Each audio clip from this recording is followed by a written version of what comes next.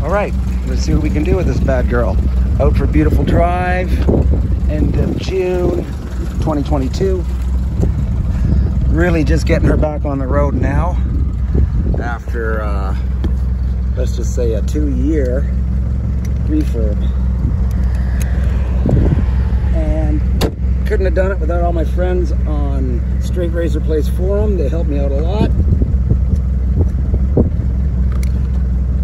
Course, uh, you know, I wish you guys could go for a road trip with me for sure. So let's see what we can do. This may just crap out and fall off right away, but we'll see.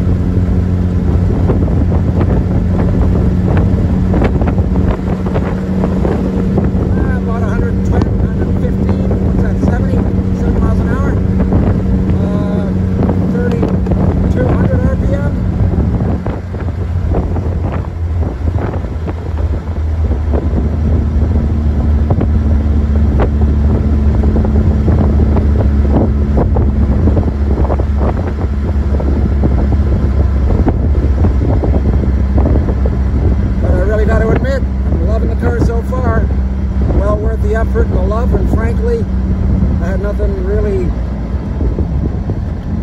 better to do over the last couple of years of pandemic, COVID and crap, and isolation and desolation, and